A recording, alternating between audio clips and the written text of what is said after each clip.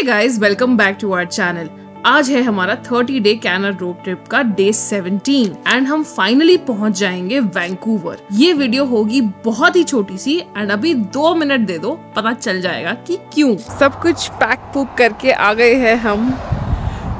Now we are having breakfast at Wicket Cup देखते कैसा है. I have heard this is the best breakfast in town let's try it अब breakfast करने के बाद मैंने कैमरा दिया नवजोत को.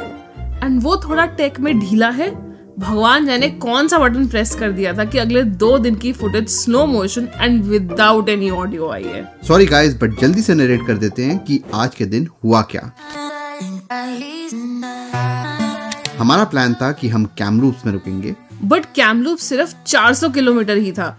एंड हम दोपहर को ही पहुँच गए। अब कैमलूप्स में इतना कुछ करने के लिए था नहीं तो हमने सोचा let's directly go to Vancouver एक दिन बच भी जाएगा एंड आराम भी कर लेंगे।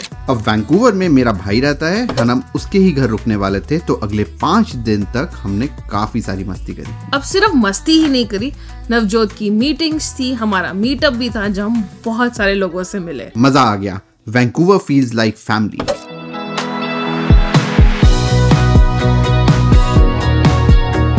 ये हैं ईशांक अंबानी अभी अभी वैंकूवर मूव हुए हैं ओंटेरियो से। हमने इनसे बहुत सारी बातें करी कि ये क्यों मूव हुए बट ये भी रिकॉर्ड नहीं हुआ। इन अ नटशेल वैंकूवर महँगा तो बहुत है बट बहुत सुंदर है। एंड यहाँ ठंड भी थोड़ी कम पड़ती है which a lot of immigrants prefer अभी आज की वीडियो में इतना ही। वैंकूवर में हमने कुछ खास किया नहीं सिर्फ़ आराम क्योंकि हम Vancouver last year mom dad के साथ भी आए थे एंड पूरा घूम चुके थे। अगली वीडियो में हम निकलेंगे यूएस के लिए। एंड वहाँ जो सीन हुआ हमारे साथ it was sad and shocking वो सब अब नेक्स्ट वीडियो में। तो चैनल को कर लो सब्सक्राइब जल्दी से। अभी ये ट्रिप आधा ही हुआ है एंड काफ़ी ड्रामा अभी बाकी है।